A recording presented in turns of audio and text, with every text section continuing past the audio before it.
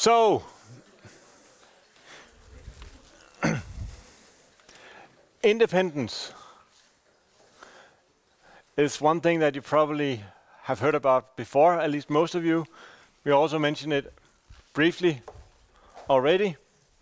So, if knowledge about x does not give any about information about y, that means that the conditional distribution of y given x is just the marginal distribution of y. That's basically, you can say, within this context, the way of defining it. So that means if that holds both ways, x does not depend on y and y does not depend on x, that means that the joint density is just a product of the marginal densities. That's the definition of independence. And a small disclaimer, in the exercise, one of the exercises for today, it says that things are uncorrelated where it should say independent. You will know where that is when you get to it. Parenthesis close. So, expectation. I don't know how much you've seen this. Some of you have probably seen it to some extent. but if you look at a univariate case, what you're looking at of a random variable with density fx of x, then the expectation is defined as the integral over the outcome space where you integrate x times the density of x in the continuous case and in the discrete case it's just a sum, but it's the same thing that you're doing. Now, one thing that is important to notice is that the expectation here, well, is an integral of something. It's a linear operator that you apply. Think of it as an integral, but basically what you're going to be applying is that the expectation of a sum of some independent uh, sum of different terms is just expectation of each of the terms individually. And of course, if you do look at a constant, the expectation of a constant is just a constant, right? If you have a constant inside an integral, you can move it outside the integral. You've done that many times, I assume. So those are, that's the first calculation rule. There'll be more in a slide in a moment. But first, just talk about moments. What you've probably heard about is the variance. But before getting to the variance, we will just look at the nth moment. That's just, as before, that instead of just integrating x times the density of x over the outcome space, you integrate x to the n power to get the nth moment. So basically, you can take the expectation of any function of x, you write that any function in there of x, and integrate. Multiply by the density and integrate over the outcome space. So that's, that's it. Now, that's the moment. Then we have what is called a central moment. That is where the only difference is that you take and subtract the first order moment, the expected value or the mean value, before raising to the power, and it's the same thing. What the expectation of a function of x is the integral of that function of x times the density of x integrated over the outcome space. So this is the variance. You've probably seen this calculation rule before. Do you also recall how to get from there to there?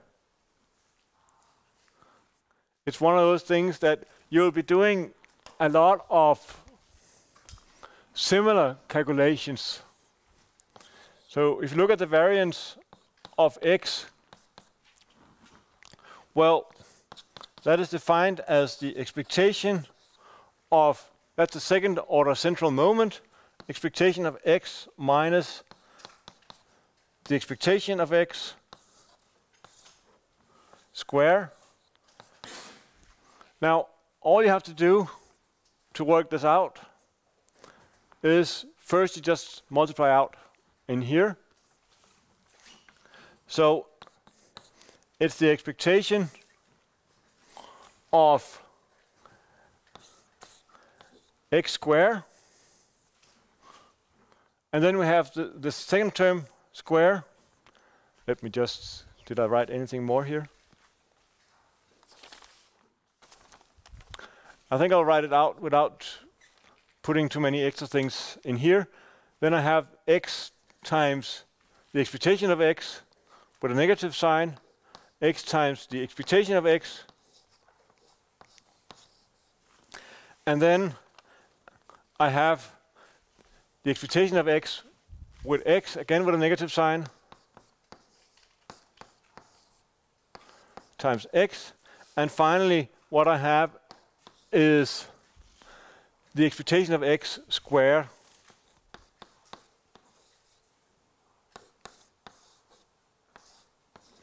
And everything here is inside an expectation. So what to do here is to use the calculation rule from before and say that the expectation is a linear operator, so we can do the expectation of all the individual terms. So we have the expectation of x squared minus. Now, the expectation of x, what is that? Is that a random variable or is that a constant? It's a constant, exactly. So we have the expectation of x times a constant. So we get the expect. That means that we get Ah, maybe I should write it uh, in two steps. x times the expectation of x. And then I have the same thing here. Expectation of the expectation of x times x and then plus expectation of x square. And then I will just fill in expectation of x square, repeat this. And then as this is a constant, the expectation of x, I can move it outside. And that means what I get from here is the expectation of x that I moved outside times the expectation of x minus, and this gives the same thing, expectation of x times expectation of x plus the last bit out here that I can also write as expectation of x times expectation of x. And what you'll see here is that this one cancels out with that one so what we're left with down here is the expectation of x squared minus ah, the expectation of x square.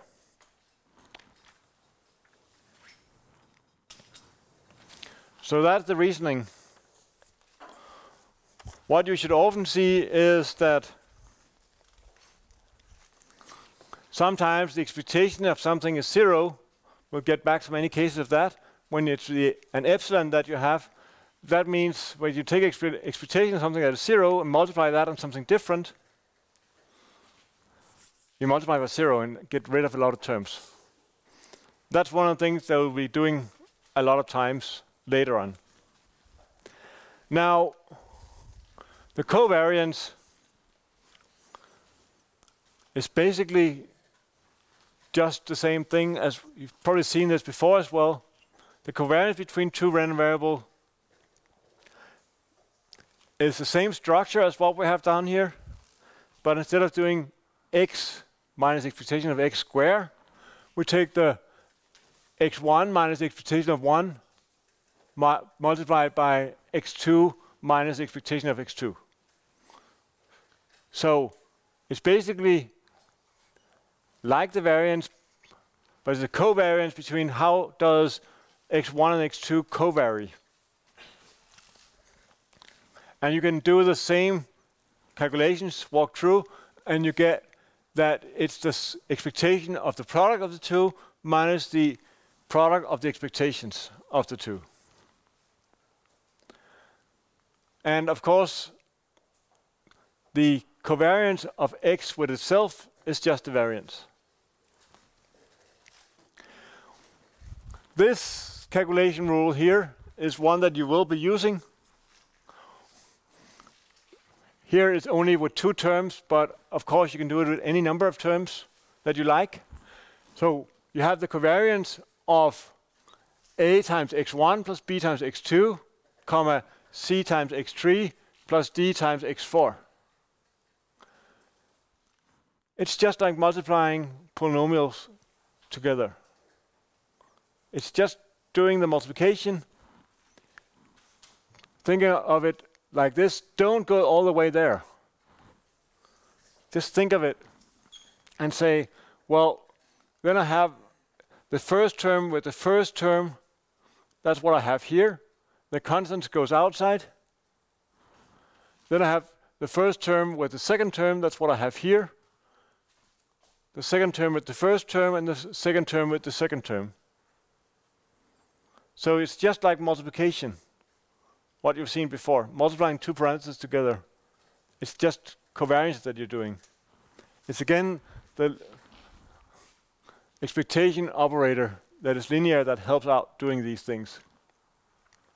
So if you can do it in this way, rather than to kind of do all the multiplications and try to collect the right terms, it's much easier. And that's one of the things that's a lot of in here is to figure out what is the easiest way to get from A to B. It's not necessarily just to plug everything in and just start calculating. You have to think a little bit before getting started. Then you can find a shortcut in many cases. And of course, it also works for the variance. This is basically what we wrote here, just with other letters that, well, adding a constant to a, random variable doesn't change the variance, but if you multiply by a constant, the variance becomes the constant squared times the variance of the random variable. So one of the exercises today, we'll be asked to do a second order moment representation. That means not just finding the second order moment, but find everything up to the second order. So if you're going to a third order moment representation, you need the first, second, and third order moments. We generally will stick to things that are normally distributed. That means that we won't go above the second order moment. The rest is not interesting. So we need the mean, the variance, and the covariance. So that was a little bit for univariate.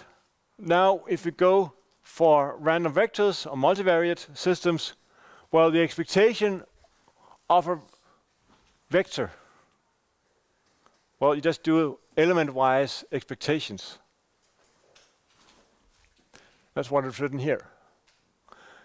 So the variance covariance matrix of X, well, it's similar to what we did down here. The problem is if X minus mu, or the expectation of x, is a vector, it doesn't make sense to take a vector and multiply it by itself. What we do is we take the outer product to get a matrix out of it. So what we have is effectively you get in that here, you get the first element with the first element, the second element with, with the first, and so forth in the columns. And then in the rows, that gives you what is the first element. That means in the diagonal, what you get there are the variances, and in the off-diagonal elements, you get the covariances of the univariate variables. And of course, what we talked about earlier on, uppercase sigma, which we'll label this as here, it has to be symmetric. That means that the covariance between x2 and x1 is the same as the covariance between x1 and x2. Well, we learned that before. And I assume that you all know how to get from a covariance to a correlation. You take the covariance between the two and divide by the square root of the product of the variances of the two. Sometimes written as you divide by the standard deviation of the two instead of the square root of the variances of the two. But that's a simple thing, right? One thing to notice is when you have a sigma ij, this is actually a squared term. So sometimes you may see sigma i i. That is the same as sigma i square. Because that's the ii element in the uppercase sigma, which is the variance. So when we have two subscripts on a, on a lowercase sigma, it will be a, a covariance. That's one thing that is a little bit irritating until you just accept it.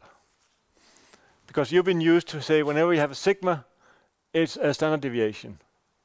But now when you have two subscripts, it's a covariance. And if the subject is the same twice, I mean sigma ii in that case, then it's also a variance. So this is one of the things that is also, you can say, annoying, and that's the reason for the comment I made about the assignment today or exercise today. So if x and y are independent, then the covariance is zero. Don't won't go through the proof of that, and the correlation is, is of course also zero in that case. Now, just an example, if x is a standard normal distribution, and look at the co covariance between x and x squared, then well, that's the expectation of the product of the two minus the product of the expectation of the two parts. And this is an example where the expectation of x for standard, when x is a standard normal, that's a zero. So that means that the last term out here cancels out. So we're left with expectation of x cubed. And if we do that integral, it's zero. So they are uncorrelated as such, but if we do the conditional expectation of x2 given x equal x, well, we get x2, uh, x squared. So that means that if we have independence, then it implies no correlation, but lack of correlation does not imply independence. That's an important thing to notice. We will often be in the linear case where everything works out smoothly, um, but remember, independence is the interesting property. Correlation is something in between in, in the calculations. Now, what if what we did before was the covariance matrix of x? Now, we can also do the covariance between x and y, where both are random variables. Sorry, multivariate random var variables. And they may not be at the same dimension. They don't have to be that. So, well, we have the correlation matrix, That should actually be in the previous slide, whatever. Um, that's just organizing the rows in a matrix. That's fairly straightforward. We have the covariance matrix between x and y. Again, it's similar to what we did down here.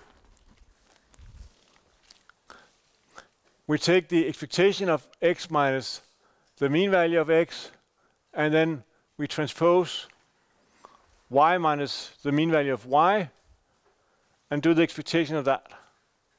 So that means we get a matrix where we have all the combination of covariances between the different elements.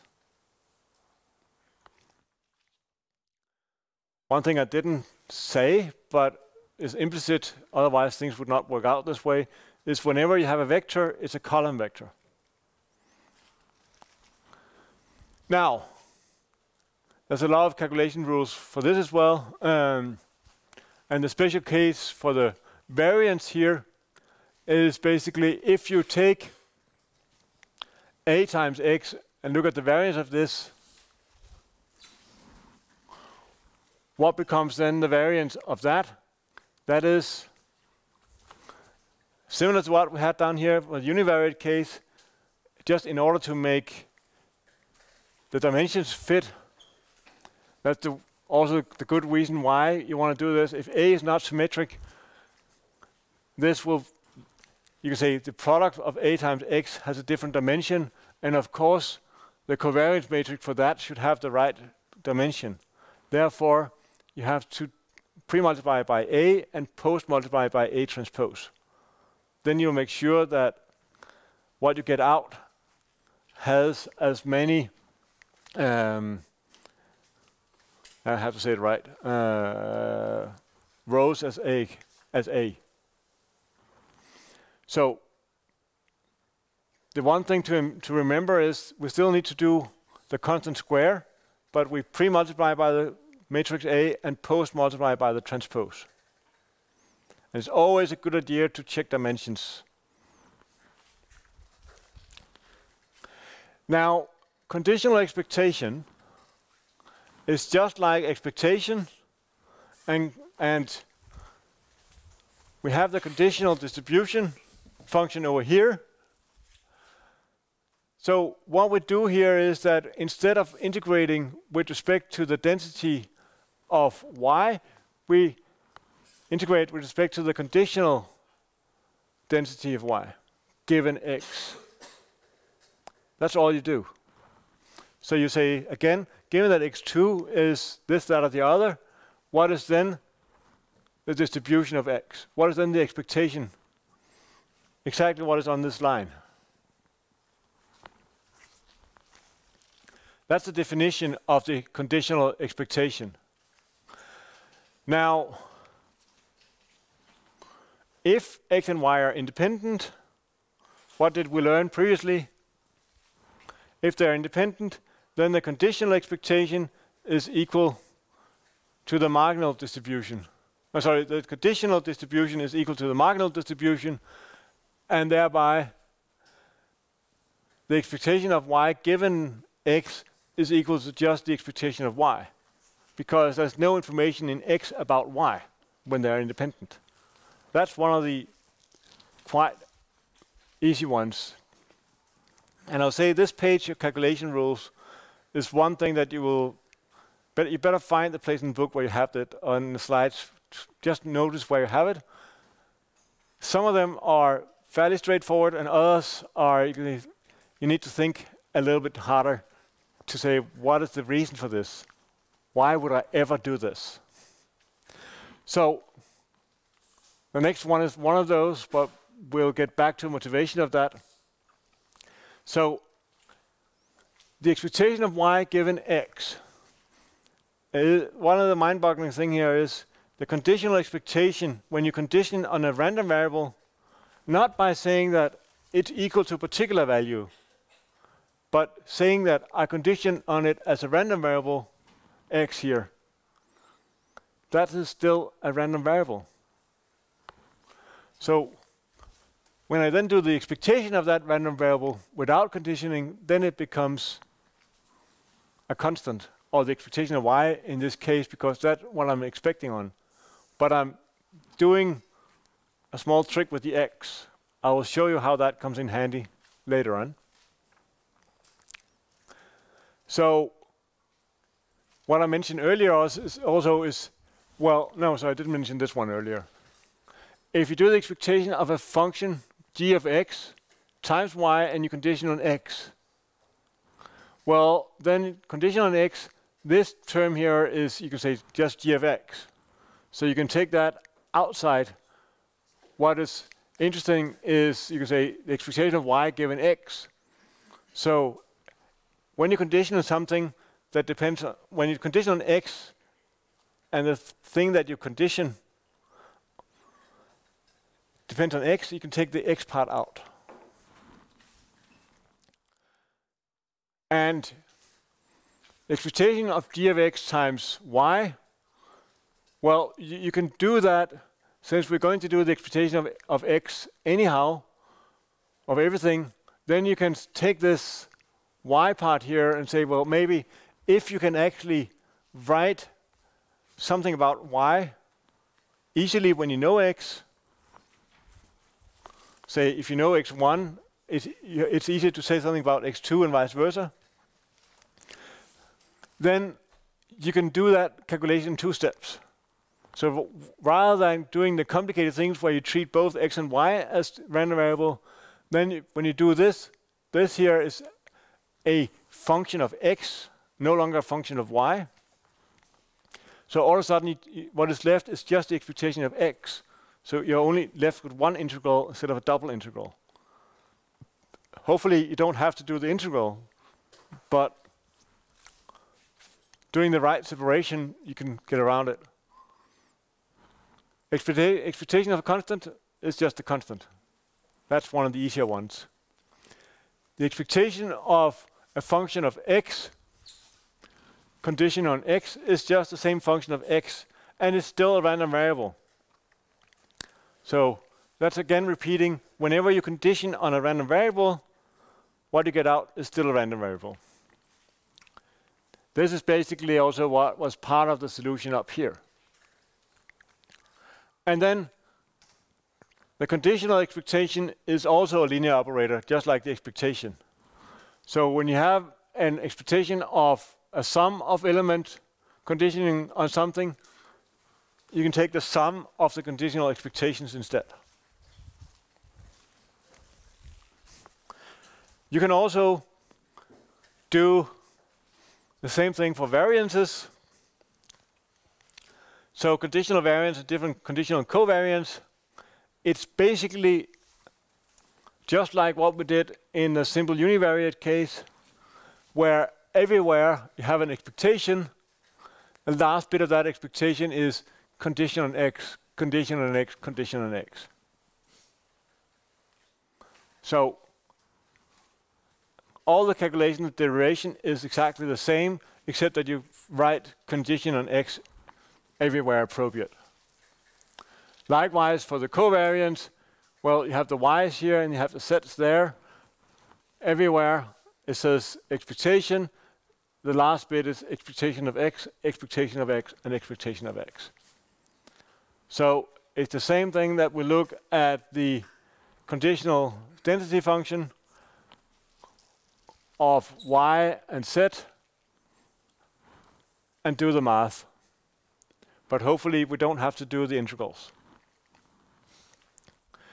So here comes one of the reasons for doing the split.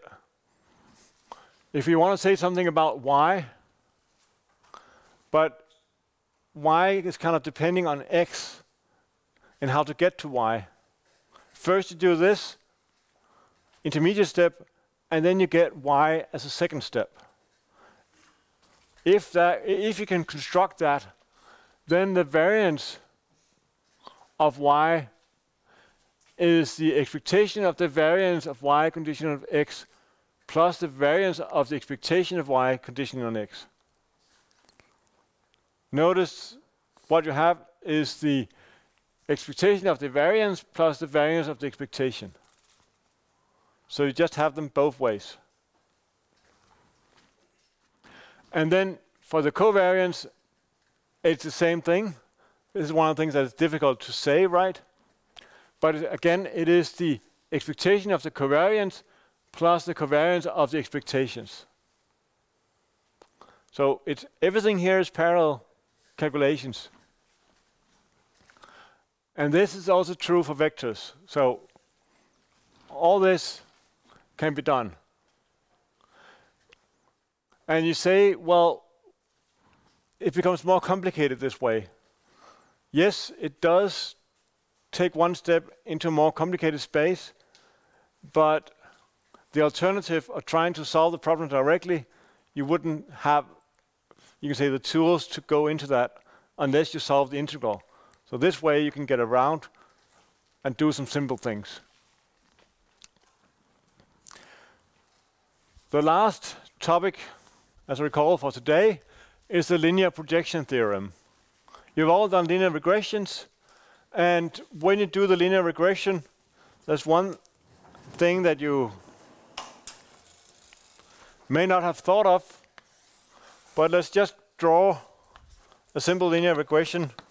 We have some observations, we have an x, we have an y, and then we fit, let me just put some, a little bit extra variance on here. And then what we do is that we have a fit. I assume you all have done that.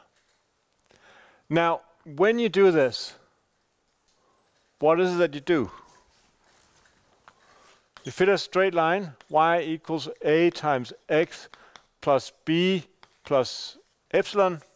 That's what you do, right? How do you measure? And what you minimize is the sum of squared residuals. So how do you measure this epsilon? So the epsilon related to this observation down here, where is that epsilon? Does the question make sense? How do, how do I draw that epsilon? Yes? Exactly, it's a vertical distance to the line. That's the, that's the epsilon for that particular observation. Now, when you do linear regression, you assume that x is observed with no variance. In that case, this makes sense.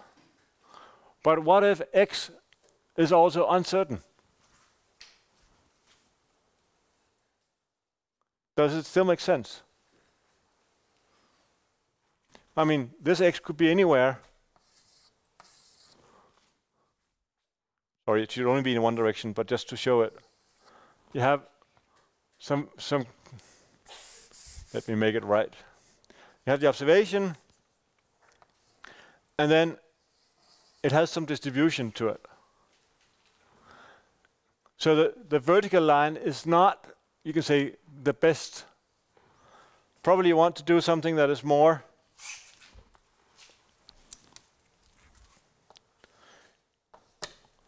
orthogonal to the line there. It all depends on the relative variance. What is the uncertainty in, on y, and what is the uncertainty in x? That is what is the question.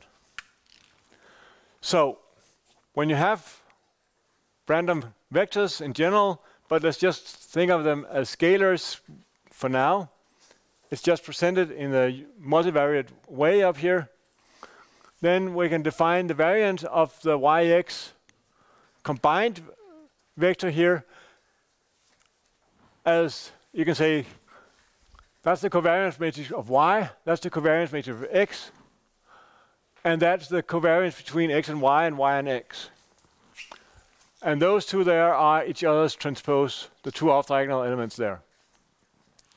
So how we define the linear projection theorem of y on x is the mean value of y. And then we look at how does the x, how far is the x value from the mean of x. And then you look at the variance of x and the covariance between y and x slash correlation. So you take the mean value and you say, how far am I away from that in the x direction? And why, what is the center of considering this in the same way as what we have up here, as just a multivariate or bivariate in this case, normal distribution of points or of, uh, of data, if we were to have data, but in general just a bivariate normal distribution. Then when you have an observation on one axis and you want to say, how can I make a projection down on the other axis? What is the most likely value of x given y? So it becomes a linear function, have a mean value plus, and the mean value comes from the mu of x, and then you also have a constant part down here from mu of x, sorry, mu of y, and then mu of x here, multiplied by this scalar here. And the variance of the difference between y and the linear projection of y on x, that becomes, you can say the variance of y, you have the covariance here, and then you have to look at what do you do here with the x. We can go through the math of this. Takes, I won't have time to do that. Um, if you look at the covariance between this error here and x, then it is zero. So your projection down to a space where there is no correlation or covariance between the two. Basically, what happens in the derivation is that you have a scalar here, and when you take the variance, when you take the variance of a times x, it is a times the variance of x, a transpose. That's all you have to do, and then there will be some matrices that cancel out, and bang, you're there. So you can see the y, sigma yx there, that is pre-multiplied and post-multiplied, but we're left with only one sigma xx in here because there is a sigma x, x inverse here, but you will have one from both sides, but we'll show that later. So we call it linear projections. What we're mostly going to use here are conditional expectations or conditional means. So it minimizes the variance among functions, as linear functions, that gives projection errors that are uncorrelated with x. That's the formal definition of what we have. If x and y are multivariate normal, that is also the conditional expectation. But if we go back and take the same problem as before, x is standard normal, then the linear projection of x squared, or x on x squared, is 1, while the conditional expectation is x squared. That's because it's a nonlinear function. So whenever you have linear function, it works out. Um, and we will generally just use the conditional expectation well, basically because everyone else does. In practice, whenever things are normal, that's also the case, it's true. And the linear projection has the same calculation rule as a conditional expectation when you have the normal distribution, but when you have things that are non-normal, so x squared is, is not a normal distribution anymore, then it doesn't hold anymore. But we'll try to kind of restrict ourselves to where things are normal. At the end, a small example using the linear projection theorem. I should have done one more thing.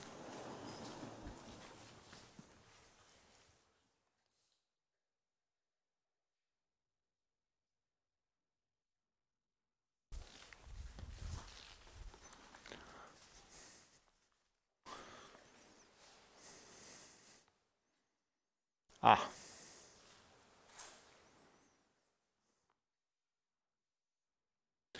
And I'll sorry for a two second wait.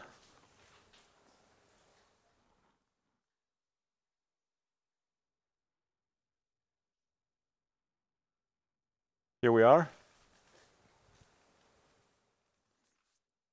I'm just waiting for it to be ready to freeze because I just want to save that one there. Okay, then I'll just freeze the other one. So this is where we just were. so in the example, we have some data for NOx. I don't know how much you remember about the Dieselgate story. NOx is a composition of NO2 and NO, but you usually report the combination of the two because depending on temperature and other things, you'll have a, a balance of a mixture of the two gases. So what we will have here is we'll define x1 will be at time t. That is the nitrogen dioxide concentration at time t minus the mean value of nitrogen dioxide. And X2 is then the nitrogen oxide at time t minus the mean value. And this subtracting the mean value is something that we'll often do because it'll make life easier. Because yeah, it's a lot of terms that you just get rid of. And pretty much everything that we do can be done with and without the mean values, the calculation is just easier if you take it out. So that's the definition. We measure every third hour during the day. Nowadays, what is sitting and measuring at the same place is measuring every hour you can get a, a measurement. It's available online if you want it. So what Jacob did back in the days was to fit a model of this structure, and we will get back to fitting model that, that structure later in the course. But if you just look at this, it's a bivariate, if you get about the error, it's a bivariate discrete um, time di difference equation. So you just take what was there, multiply by matrix to get to the next time. But then you just add some noise in reality because circumstances have, have changed. So this here says what's going to happen. You have a conversion from one to the other. Uh, you have a conversion from nitrogen dioxide to nitrogen oxide to get a balance between the two. You can also see from the covariance matrix that the correlation, as in the off-diagonal element, is fairly large compared to the, not greater than, but it's fairly large. So let's just say that we're currently at time 9 o'clock, and we've measured those two observations. So what we want to do is to make a prediction to the next sample at noon. So that's what we're going to do. And we're also going to say what is the variance covariance matrix of that forecast. Now, what we want, and I'm going to say this again many times, the best predictor is the conditional expectation. So we'll condition on what we just observed and use that to predict. So we know what we just measured that means that we know those values there, because that is time t minus 1 when we are we want to say something about time t, time at noon. We want to get one step. so the expectation of the concentration at noon, given what we know, well, we just plug in the model here, phi of xt plus epsilon t plus 1 given information up to time t. Now, that means that this one is what we're conditioned on. Now the future epsilon, that's just like in any other statistics course. You have an error that we haven't observed, it's out in the future. The expectation of that is zero. So what we're left with is just what is happening from the dynamical system, from the chemical, you can say, balancing of the two different gas phases. Now, the variance covariance of the forecast, well, that is a conditional variance. And what we do is we plug in what is going to happen for the process minus the expected value that we just calculated up here, condition on xt. What is nice to observe is that this term and that term cancels out, so we're looking at the variance of just epsilon t plus 1. That's independent of xt, so we're left with just the covariance matrix. So this is one of the lucky cases where everything becomes simple at the end. Here I just have some code and I don't think there's anything in here that is just, you can just look at it if you like R. I will generally show, if you look, when you look at all the video podcasts and so forth, there will be sometimes where I just put the code in the video, but most times I'll go to RStudio and show you what's going to happen. That also means that when we're doing discussions here on Friday mornings, I will have the same script ready. So if you have questions to what happened at line 53, we can go down and discuss that. So whenever you have questions of that sort, we'll take it like that. So at noon, we were only observe, observing the nitrogen dioxide. For some reason, there was some problem with the equipment. Now, what we need to do is to estimate the missing nitrogen oxide measurement. And what is the variance of that error? What we do there is to do the linear projection between the two, because what we have, we have a system here where we know the expectation of y and x, we know the covariance structure of, of them in general from the process, so we have everything that we need to get started over here. And I know this slide is not a nice one to look at. There's a few too many characters here, but that's just life sometimes. So what we have is we want to compare with the linear projection here we're looking at the conditional expectation of x2 at time t plus 1 conditioned on x1 at time t plus 1. And then we also have an extra condition on xt. That is going to be there everywhere. And that's the only difference to what is there, is that we add that extra condition on what we knew at the previous time, because we want to keep that information alive, so to speak. So to get the expectation, we need the covariance between y and x. We have the covariance between x1 and x2 here, conditioned on xt again.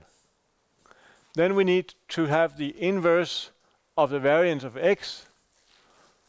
We have the inverse of variance x1 here, again conditional on previous time. And then we have to look at how is x1 different from the expectation of x1? So that's what we have over here. Again. We can plug in the numbers everywhere here, and then we get the expectation down here. That's basically just doing the matrix operation from ah, far back. That's getting you can say the second element of what comes out of that, but we just wrote it, I just wrote it element-wise here. And it's also element in the covariance matrix that we have here to first take the covariance between the two and then normalize by the variance and then look at how is the observed nitrogen dioxide different from the predicted. And the variance here, we have the prediction variance here, and then we have minus the covariance between y and x divided by the variance of x and then post multiplied by the covariance transposed. Now, in this case, it's univariate, so therefore I don't have to, to pre and post multiply by the covariance. I can just have it square here and then multiply by the inverse of the variance. So this is what I get out when I insert the numbers. So what happens if you just go back? Uh, no, I don't have a slide there. Um, so what is happening here?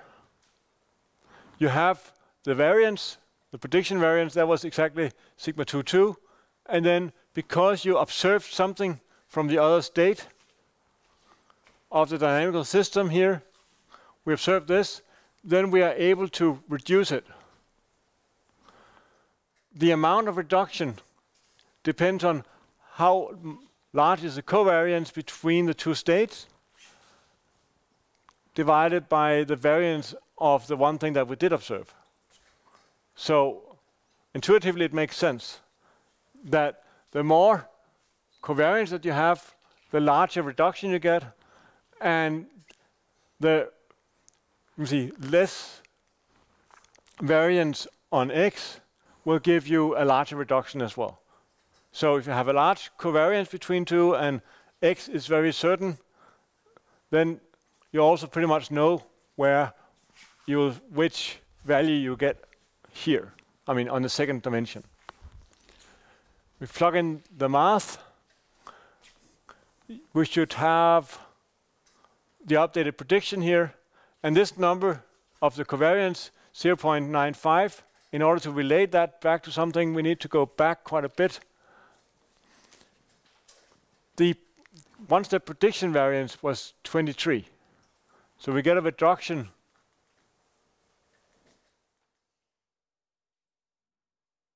Am I going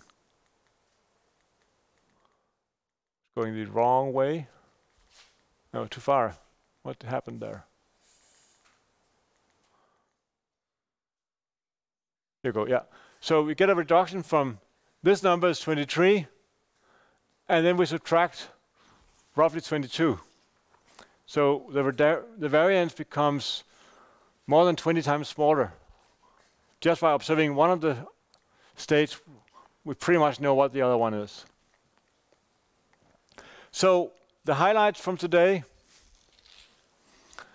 just to say the covariance calculation rule, the variance separation theorem, that you can do this conditional variance split up. At first, it looks like making life complicated, but at the end of the day, it, it saves time.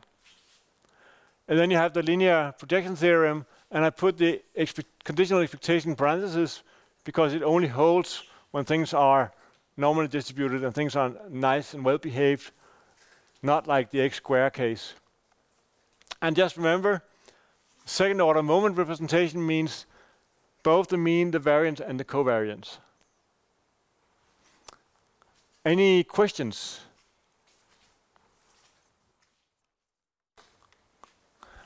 Let me say one thing. You've asked much fewer questions than I would expect. Maybe it's just waking up after the summer break, I don't know.